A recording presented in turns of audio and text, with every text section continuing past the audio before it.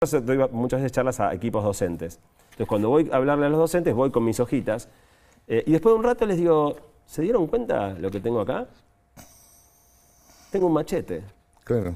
¿Y por qué tengo un machete? Bueno, tengo un machete porque los adultos nos macheteamos todo el tiempo. Obvio. Vas al supermercado y llevas la listita, no te aprendes de memoria Sí, las sí. cosas que querés comprar. ¿Por qué no machetearnos? claro, claro. Entonces, la propuesta que yo la tiré en mi primer libro, En Pasaje al Futuro, es para mí habría que hacer los exámenes con copia obligatoria.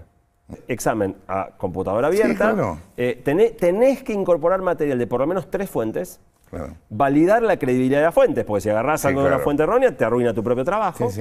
Y construir, articulando por lo menos tres fuentes, un discurso propio, relevante a la pregunta que se te formula y correctamente expuesto. Yo creo que un pibe que puede hacer eso está 100.000 veces mejor preparado para el mundo que viene que uno Lo que que te es repite que de memoria todos los días de Europa. Está armada en base a la memoria, el secundario, pero también la universidad.